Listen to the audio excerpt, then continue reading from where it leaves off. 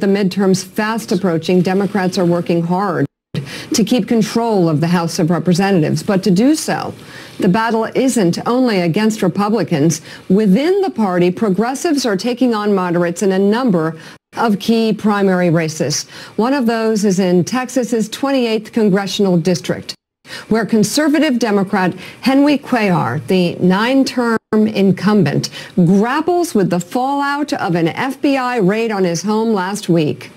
Joining us now with more is NBC News senior Capitol Hill correspondent Garrett Haake. Garrett, explain what is going on here. Mika, I spent the weekend down in Texas covering this race. Texas has the first primaries, and this race in the 28th is going to be one of the most interesting. It pits young versus old, a former intern against her former boss, uh, progressives trying to rally the energy of that base to beat a more moderate conservative Democrat really everything you would look for in an exciting primary race. And that was before the FBI got involved. Stretching more than 150 miles from the border city of Laredo to southeast San Antonio, there's a lot of ground to cover for the candidates in Texas' 28th congressional district. Jessica Cisneros. I'm running for Congress in the Democratic primary. But with a month to go until election day, an FBI investigation somehow related to a country 7,000 miles away could be the race's deciding factor. So I'm running against Henry Cuellar. You might have you might have heard of him. He was in the news last week. Um, he was a member of Congress whose house got raided by the FBI. The January 19th raid of Congressman Cuellar's home and campaign office were part of a federal investigation relating to the nation of Azerbaijan, according to a senior law enforcement official. District voters have questions. We're a month away the FBI raided Cuellar, and nobody still knows why. Had you heard about this FBI raid?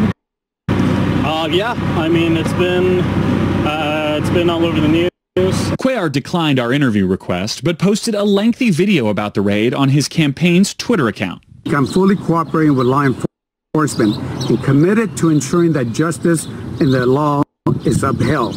There is an ongoing investigation that will show that there was no wrongdoing on my part. I'm running for re-election and I intend to win. The nine-term incumbent is a Texas institution, regularly outperforming statewide candidates as a moderate border district mainstay and a member of congressional leadership.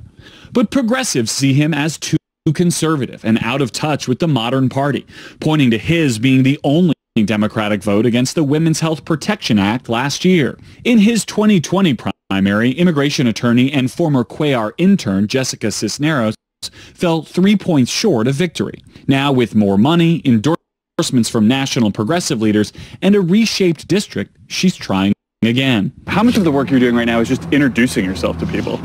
A huge part of it is that, just because, I mean, we found out what the new maps were going to look like in November this part of the district where we're in San Antonio, it's new to the district. Cisneros believes the pandemic has only proven the need for progressive policies like Medicare for All. But as the primary approaches, her biggest advantage may not be what she's for, but who she is not. It's always been Cuellar, so I want to give somebody else a chance to see what they can do. So this race may be shaping up as a referendum on Henry Cuellar as we await word of more information on that FBI raid. But I can tell you Republicans mm. are also watching this primary closely. They see a wounded Cuellar or maybe a progressive opponent as an opportunity to put a blue seat in play. But this district got even bluer in the latest redistricting down in Texas, Mika. NBC's Garrett Haake, thank you very much.